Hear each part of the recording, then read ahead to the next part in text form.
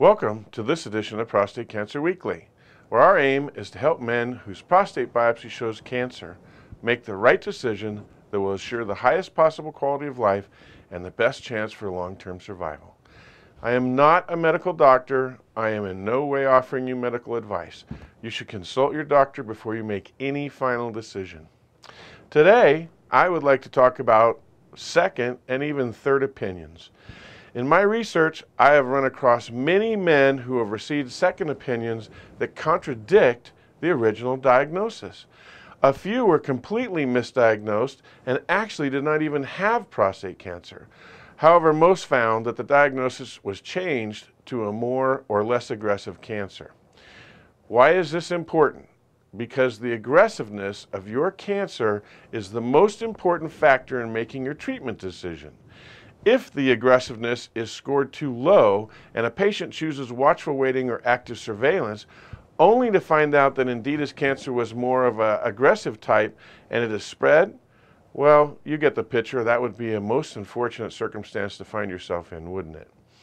On the other hand, if he has a cancer that has already escaped the capsule, but his pathology report shows is not likely to have escaped, he might choose surgery, when in reality, surgery is no longer an option when the cancer has escaped. This would subject him to unnecessary side effects of surgery when he will possibly need additional therapies when the cancer returns or if it returns. The pathologist reading your biopsy slides is really using his experience to grade your cells. This means he is making an educated guess, so it is important to make sure that the pathologist has a lot of experience reading biopsies.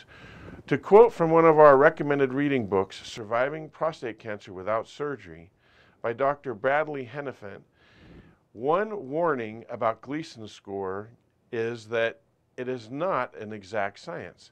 It is a process of recognizing patterns under a microscope.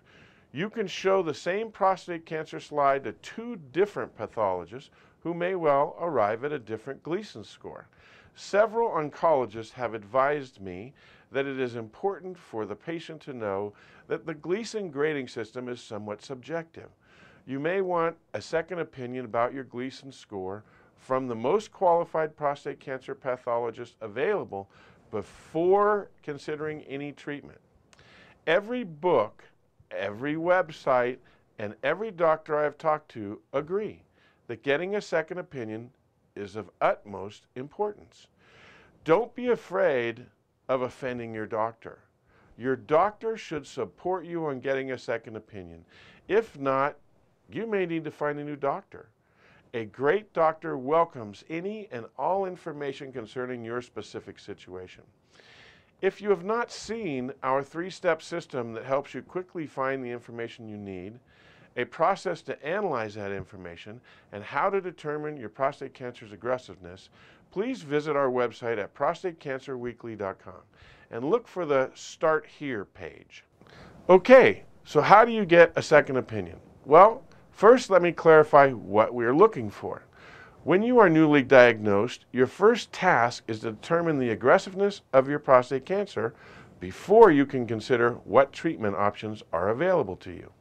So at this stage of the game, I'm not talking about a second opinion concerning your treatment decision. I am talking about your need to confirm the pathology report results from your biopsy. All labs are required to keep the slides from your biopsy. So the easiest way is to have your slides sent to another lab for their opinion.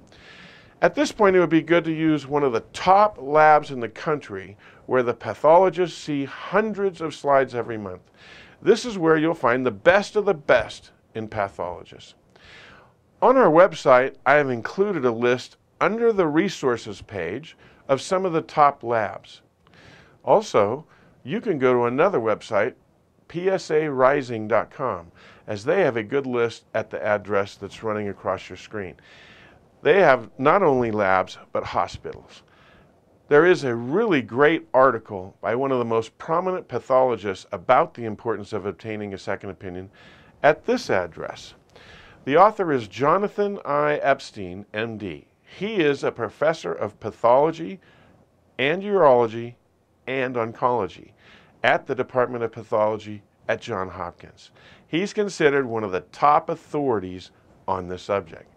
So the bottom line is you really must get a second opinion before you embark on your treatment decision. Thanks for watching our show today. I hope in some way we were able to help you on your journey to making the right treatment decision.